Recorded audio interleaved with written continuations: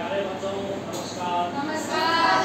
आज हम लाइब्रेरी में आए हैं इसका हमारा उद्देश्य है कि हम एक तो शब्द को सीखेंगे। डिक्शनरी में वर्ड कैसे ढूंढना है ये सीखेंगे। दूसरा हम हमारे जो महापुरुष हैं उनके बारे में उनकी लाइफ टेन्योर के बारे में हम पढ़ेंगे। तो हम डिक्शनरी सीखने से शुरुआत करते हैं। हम जैसे वर्ड सीखेंगे बायोमेट्रिक को कैसे ढूंढना है। तो इसके लिए हमें सबसे पहले ये देखना है पहला लेटर क्या है? बी उसके बाद आई ओ ऐसे हम एक एक वर्ड को देखेंगे और उससे जो स्टार्ट हो रहा है पहले उस वर्ड को फिर उससे अगले को फिर उससे अगले को ऐसे वर्ड को हम ढूंढते जाएँगे।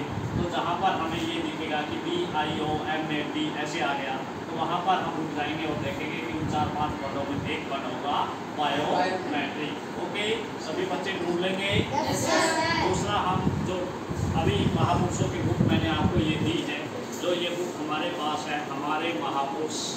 क्या है ये बुक है? हमारे महापुरुष।